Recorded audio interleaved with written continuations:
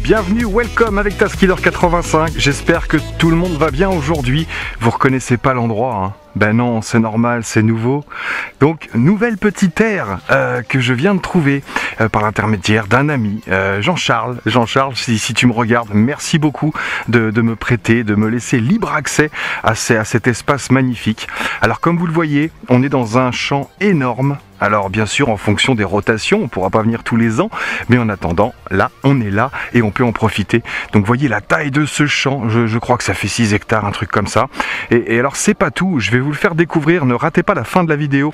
Je pense que j'irai faire un petit tour dans les airs avec euh, un engin ou deux, histoire de voir vraiment euh, l'endroit dans lequel on est. Euh, on borde une forêt, donc là pas mal, pas mal du tout, une mini forêt, mais qui nous coupe du vent donc bien pratique. Euh, on va avoir également un petit hameau ici, euh, une rangée d'arbres avec un passage qui nous emmène vers un autre champ, avec derrière avec un autre champ.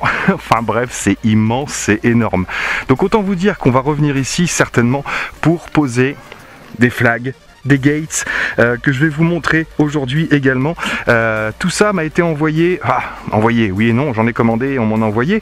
Bref, par Hobby Inc. RC. Merci à Hobby Inc. RC pour euh, le test de ce petit triaxial. il s'appelle le Falcon NH011. Alors celui-là n'a pas de caméra, il n'a rien du tout, quelques options comme le headless mode, le return to home, euh, les flips automatiques, mais euh, aucune option, pas de caméra, il est disponible bien sûr avec une petite caméra 0,3 million de pixels, mais celui-ci n'en est pas un, c'est vraiment un engin d'initiation avec le maintien d'altitude, vraiment pour débuter, pour apprendre à vos enfants. Euh, je vais tout de suite vous en parler, ou alors je vous montre d'abord, ouais d'abord je vais vous montrer la gate et le flag. Donc c'est parti pour le déballage, on va se munir d'un petit marteau ou d'une grosse masse. pour pouvoir installer tout ça, il n'y a pas forcément besoin, ça va dépendre du type de terrain. Là, c'est un peu raide, mais on va voir ça. Donc, on va commencer par le drapeau. Vous l'avez déjà vu, le petit drapeau lézard. Je vais vous montrer comment ça s'installe, tout simplement. Donc le lézard Racing, vous l'avez déjà vu. Comment ça se présente? Eh bien écoutez, vous avez déjà un petit pied comme ça, monté avec deux roulements à billes et une partie caoutchoutée ici, qui va vous permettre d'enfiler le drapeau tout simplement. Et c'est cette partie-là que vous devrez planté dans la terre. Vous voyez, c'est dur hein, quand même. Hein. Donc en premier lieu, on va assembler. Euh, quand ça rentre pas, c'est que c'est pas le bon embout. c'est tout simple. On va juste assembler. Hop, voilà. Donc on a cinq parties pour celui-ci. C'est un drapeau qui fait 2,80 m sur 50 cm. Donc c'est déjà pas mal. Hein. Après, un drapeau, euh, il n'a pas besoin de faire 4 mètres pour qu'on le voit. Et voilà, donc on a assemblé. Sur le sillon ici, on a un petit embout plastique qui permet d'éviter de déchirer le drapeau. Ensuite, on va trouver le trou, forcément. Petit conseil, mettez-vous dans le sens du vent. Hop, là le vent va par là. Je me mets dans le sens du vent pour l'enfiler. On va y aller tranquillement jusqu'au bout. On va doucement pour pas que ça accroche. Hop, et on est au bout. Ensuite, on vient dérouler jusqu'en bas, ici on va venir s'attraper hop dans le petit cran qui est là. Et ensuite on va tendre. Donc là je dévisse un peu. Je tends. Et en tendant je regarde le haut du drapeau. Voilà pour qu'il prenne sa forme comme il faut. Et là on va resserrer. Et on est fixé. Voilà le drapeau est prêt. On va maintenant installer le pied. On va le mettre par là au pif. On a de la place hein. Allez c'est pas la peine d'aller trop profond, il n'y a pas trop trop de vent aujourd'hui, un peu. Et on enfile le drapeau. Voilà qui est fait donc voilà le petit Lesa FPV Racing, donc 2m80 pour la hauteur, ici sur 50 cm de large. C'est pas un des plus gros, un des plus épais, un des plus costauds, mais en même temps c'est pas un des plus chers non plus. Alors tous les liens sont dans la description bien sûr de chez Hobby Inc. Et je vous mettrai en même temps les petits codes promo euh, qui permettent d'avoir une petite remise en fonction de ce que vous commandez. Alors c'est parti pour la gate Celle-là, vous ne l'avez pas vue Tac Donc ça se présente de la même façon. On a nos deux petits pieds ici qui vont venir en terre pour maintenir la gate. Alors, chose que je vais vous conseiller pour le montage, vous allez voir. Au lieu de tout installer bêtement, alors ici, sont des petits euh, bâtonnets en fibre. Hop, et il y a juste, ils sont retenus par des élastiques, voyez. pendant qu'ils sont là. Donc prenez-en soin si vous voulez que les élastiques tiennent le coup. Donc je vais simplement, hop, enquiller tous les brins. Voilà, c'est fait. Et maintenant, je vais tout de suite aller mettre le pied. Voilà, donc je vais tout de suite planter un pied. Vous allez voir comment j'installe ma gate. Donc je l'oriente légèrement, hop, penché. Tac, c'est la méthode la plus simple que j'ai trouvée. La deuxième, je vais la mettre par là. On récupère gate, superbe gate blanche Drone Race. Alors il y a plusieurs choix de couleurs hein, bien sûr. Et là, je vais tout de suite enquiller mon brin. Tac. Comme ça, on a un bon maintien. Et j'ai plus qu'à enfiler ma gate. Voilà, vu que mon brin est maintenu. Alors attention de ne pas déchirer, hein. allez-y tranquillement. Et l'avantage d'avoir planté le premier pied, c'est qu'on est bien maintenu. Il n'y a pas besoin de s'en occuper. Alors attention aux jonctions, hop, aux coutures. Bonne qualité hein, de tissu, hein. je ne sais pas si on va se rendre compte, mais il est bien épais. Beaucoup plus épais que le drapeau. Voilà, hop. Et on envoie tout ça vers le fond. Et voilà, donc maintenant, bah, j'ai plus qu'à donner l'angle que je veux à ma gate, soit très bas ici pour avoir une grande distance, soit je vais le remonter un petit peu. Je vois tout de suite ce que ça va donner. Voilà. Et ben je pense que par là c'est pas mal. Donc une fois que c'est fait, je vais planter mon deuxième piquet avec la bonne orientation nord-nord-est et j'ai plus qu'à enquiller ma gate. Alors en sécurité, en sécurité, on a des petits liens ici. Alors soit on s'enquiquine à chaque fois à faire le nœud autour de la boucle qui est là, petit mousqueton, alors soit on fait un nœud, donc tirez pas trop loin de façon à avoir ce qu'il faut pour tendre là-bas, soit on va faire un nœud simple, c'est-à-dire qu'on va hop, venir passer une boucle à l'intérieur, ici, et tirer pour que ce soit simple à enlever simplement en tirant sur ce fil là soit on peut essayer de le fixer directement regardez ce que je vais faire aujourd'hui je vais pas trop bas pour avoir de quoi tirer derrière et là, je vais faire un double nœud. Comme ça, quand j'aurai fini, je vais pas défaire le nœud, je vais simplement défaire le mousqueton qui restera sur la gate par la suite. Hop, donc là c'est fait. Je viens maintenant de ce côté-là, je vais faire la même chose. Hop, donc là c'est bien tendu. Ma gate est bien tirée. Voilà, tac. Comme ça j'aurais pu à refaire les nœuds j'ai plus qu'à déclipser les mousquetons. Et voilà notre petite gate. Donc celle-ci va faire à peu près 2 mètres de largeur sur environ 1m20, 1m40 selon la façon dont, vous la pliez. Donc voilà pour ma première petite gate Lesa. Elle n'est pas bien grande, mais euh, bon, bah, il faudra, euh, faire euh, tranquille. c'est un bon début pour commencer le FPV. Donc c'est parti pour le test de ce petit Falcon. bah écoutez, c'est un triaxial, mais on a bien quatre hélices. On a là-dessus quatre petits moteurs Brocht 85-20 et on a une hélice sur le dessus au niveau de l'arrière et une hélice sur le dessous qui va permettre bien sûr d'orienter la queue en avant ou en arrière. ensuite, on a des grosses protections d'hélice qu'on pourra retirer ici avec les trois petites vis qui sont là, mais bien protégé pour l'indoor par exemple, c'est plutôt pas mal.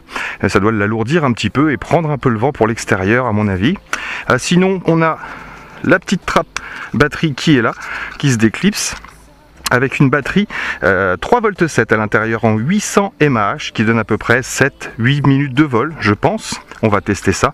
Et c'est une prise JST standard. Donc vous pourrez bien sûr mettre d'autres batteries en respectant bien sûr la place que ça prend. Tac, c'est clipsé. Et on a un petit interrupteur en dessous, on-off, tout bêtement, avec trois LED. On a une LED rouge à l'arrière et deux LED vertes à l'avant. Ici, on va pas l'allumer pour l'instant. Deux petits pieds, euh, trois petits pieds caoutchouc Ici, là, on a du plastique ABS partout, sauf les pieds à l'avant qui sont en caoutchouc mou, vous voyez, ici, pour amortir les, chutes, et le pied arrière ici également. Donc voilà pour ce petit aircraft triaxial Falcon. Je vous montre tout de suite la radio. Donc petite radio en mode 2, là on ne pourra pas changer. Maintien d'altitude, donc on a des retours de force sur les, les deux sticks bien sûr. Là vous avez les trims, droite, gauche et avant, arrière. Le petit bouton de mise en route sur le dessus Et on a quatre boutons différents ici. Donc le R1 va nous servir à faire des flips automatiques et des rolls automatiques, comme d'habitude. Un maintien, et on fait, je crois, non, je crois qu'on a que les rolls automatiques là-dessus. On va tester, mais je crois qu'il n'y a pas les flips, il n'y a que les rolls sur les côtés. En dessous, celui-ci ne vous servira pas, c'est pour celui qui a le mode caméra. Donc là, nous, on n'en a pas. Le L2 ici en bas vous servira à faire soit retour automatique avec un seul clic, soit un maintien un peu plus long et vous passerez en mode headless. Donc là, bien sûr, pensez à l'initialiser dans le sens dans lequel vous allez voler encore une fois. Et celui du dessus, en appui court va avoir une ou deux vitesses tout simplement. Ensuite, si vous avez un appui long sur celui-ci, vous allez pouvoir faire un décollage automatique et un appui long sur celui-ci vous fera faire un atterrissage automatique. Voilà, sinon une fois que vous l'avez mis en route, vous allez voir, euh, il est facile à calibrer juste en appuyant un coup sur celui-ci, il me semble, et pour le décollage, ben, vous aurez juste à monter le stick ici et ça va faire démarrer l'appareil. Vous allez voir, c'est tout simple, je vous montre. Alors les herbes sont assez hautes ici. On va démarrer là. On a une belle piste de décollage. Alors j'allume l'engin. Tac. C'est parti. J'allume la radio. Et on va faire au bas, là ça clignote toujours. Au bas. Et là, nous sommes connectés. On va faire un appui simple et là, on voit que les lumières se mettent à clignoter. Je recommence. Tac, pour calibrer le gyro, tout bêtement. Et puis, bah, il n'y a plus qu'à, voyez, pour décoller, on va peut-être mettre en vitesse 2 tout de suite. Vitesse 1, vitesse 2. Et pour décoller, bah écoutez, soit je maintiens ce bouton-là, soit je soulève le stick de gauche, regardez. Et voilà, là, on a lancé les moteurs. Si je tire vers le bas, on coupe les moteurs. Vraiment ultra simplifié. Pour un enfant, pour débuter, c'est vraiment le top. Allez, je prends du recul parce que là, il y a du danger. Hein. Donc décollage, on va essayer le décollage automatique. Je maintiens celui-là. Donc il lance les moteurs et il décolle. Alors bien sûr, maintien d'altitude. Par contre, il part dans le sens du vent. Hein. Vous avez le drapeau. On va le ramener. Alors en vitesse 2, j'ai eu du mal à le ramener. Hein. donc vraiment pas beaucoup de puissance sur ce petit appareil. C'est marrant, le système des hélices en dessous. On va prendre un peu d'altitude.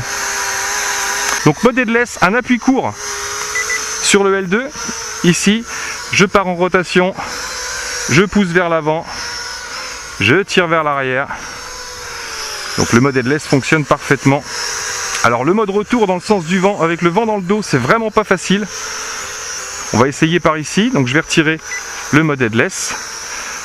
Je fais un appui long sur celui-là. Tac, ouais, vous voyez, il s'est mis un peu vers l'arrière. Si, il revient, il revient. Donc, il faut vraiment une journée sans vent. Et pour récupérer le, contrôle, je touche simplement à un stick. On va se tenter les petits rolls.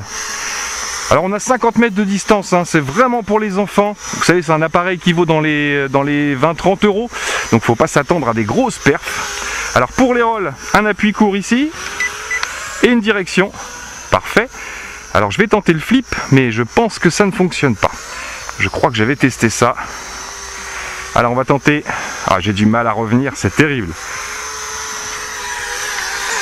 Flip avant, non. Flip arrière, non. Roll droit, oui. Donc vous avez les rolls automatiques. Donc là, je pousse à fond en marche avant. Donc vous voyez sa vitesse maximum. On ne pourra pas aller beaucoup plus vite avec celui-là. Allez, on passe la gate. Donc le maintien d'altitude, lui, est plutôt pas mal. Vu qu'il n'y a pas beaucoup de puissance, on ne perd pas. Ah, sans problème la gate. Hein. Les doigts dans le nez. Hein. Allez, je reprends d'altitude. Donc oui, 50 mètres de portée. Alors j'ai fait un petit test. Si jamais vous perdez la connexion, l'appareil se coupe automatiquement. On va refaire le test ici. Je vais couper la radio comme si on perdait le contrôle, comme si on perdait la connexion. 1, 2, 3, je coupe. 1, 2, et voyez, automatiquement il se pose. il ne coupe pas les moteurs directement, mais il se pose. Ah, là il n'est pas posé droit. Si, ça y est. Et donc il coupe les moteurs. Bon, plutôt pas mal. Si vous perdez la connexion, par contre, si vous partez avec le vent et qu'il part à 50 ou 100 mètres, sachez qu'une fois que vous perdez la connexion, il va descendre. Donc essayez d'être dans un endroit où il est facilement retrouvable. Par contre, est-ce qu'on peut récupérer la connexion en l'air? Ça, c'est une bonne question. Donc je connecte, vous savez, il faut rallumer et connecter ici. Donc je soulève. Vitesse 2. Vitesse 1, c'est vraiment pour l'intérieur, ça doit vraiment... Hop là, j'ai un concurrent là-haut. hein. vitesse 1 pour rigoler. Hop Donc là, je suis à fond en vitesse 1. Je suis sûr que je remonte pas le vent. Si, avec de l'élan. Ça y est, le vent s'est calmé un peu. Je passe en vitesse 2. Oh, impressionnant Donc vraiment un petit engin pour débuter rigolo en 3, en triaxial. Hop, Alors je vais monter un peu en, altitude. Attention de ne pas aller gêner les avions de ligne. Donc je vais couper la radio. Tac, ici.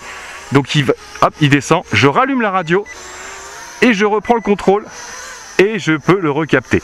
Donc si jamais vous perdez la connexion avec la distance par exemple, n'hésitez pas à courir vers l'engin et je pense que vous récupérerez la connexion. Vous voyez le vent se lève un petit peu là, il a beaucoup de mal à revenir, il force énormément contre le vent. Donc après, une fois que vous avez pris l'habitude, n'hésitez pas à retirer les protections d'hélice, vous, vous allez gagner un petit peu. Vous voyez là, je vais aller à l'abri des arbres, j'espère qu'on le verra quand même. Voilà. Là, à l'abri des arbres, c'est un peu mieux. Il force beaucoup moins, à l'abri du vent. Et là, je suis dans le courant d'air, ça y est. Et là, je force comme pas possible. Allez, je vais passer autour du drapeau. Pour y aller, ça va. Alors, pour revenir, hop, là, je suis en full en avant. Bon, il revient, hein. Il revient, mais il a du mal, hein. Là, vous voyez, j'avance plus. Donc surtout, pas un engin à sortir quand il y a beaucoup de vent, vous voyez. Donc dans ces cas-là, descendez, perdez de l'altitude. Plus vous êtes bas, plus ce sera facile d'avancer. Voyez, là j'arrive à remonter le vent. Le maintien d'altitude est plutôt correct.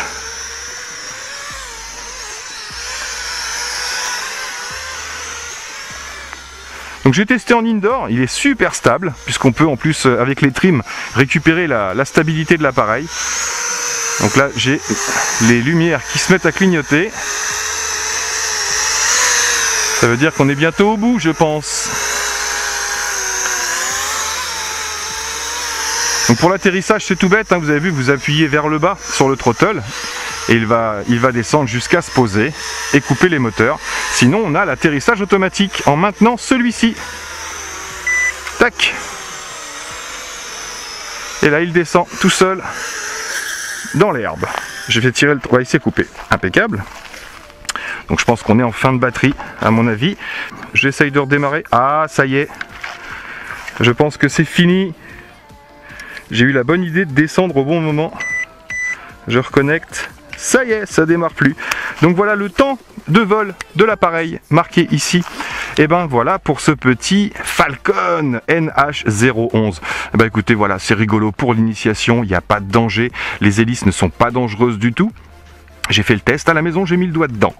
Franco, eh ben aucun souci. Pour débuter, c'est plutôt marrant. Vous attendez pas à un truc de compétition, mais euh, mais pour l'initiation, c'est plutôt pas mal. C'est vraiment bien pensé. Et puis encore une fois, bah la forme euh, la forme triaxiale, c'est original. Ça change un petit peu. Donc voilà, petit joujou à pas cher pour l'initiation, pour les enfants. Celui-là va pas prendre une grosse note parce que je pense qu'il manque un petit peu de puissance quand même, euh, ne serait-ce que quand il y a un tout petit peu de vent. Mais ah, c'est ce qui fait aussi qu'il est adapté pour les enfants parce que justement, il n'est pas très très puissant. En tout cas, le retour fonctionne, le headless mode fonctionne, les rolls automatiques fonctionnent. J'ai pas grand chose à dire de mal là-dessus. C'est un petit engin, je le savais, je m'attendais pas à plus puissant que ça. Mais en attendant, tout ce qui est annoncé fonctionne. Donc ça, c'est déjà plutôt pas mal.